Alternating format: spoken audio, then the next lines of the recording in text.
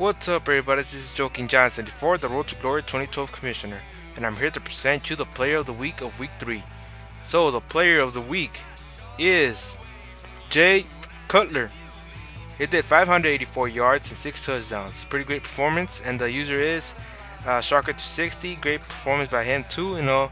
He used uh, this team as a, in a great way and uh, he managed to get player of the week and also the game of the week. You're to be, see, be able to see that on the web page of, of the Madden franchise, and uh, everything will be posted there. So yeah, congratulations to Sharkers 60 on their performance with uh, Jay Cutler and the Atlanta Falcons.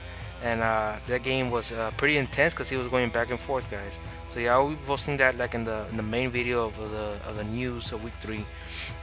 So yep, guys, that's all for now. Make sure you subscribe and like this and like this video, and uh, also visit my other videos. You know, you want to see the like the history of the of the franchise that's been going on. You know. So yep, thank you for you and uh, make sure you stay for more. Thank you.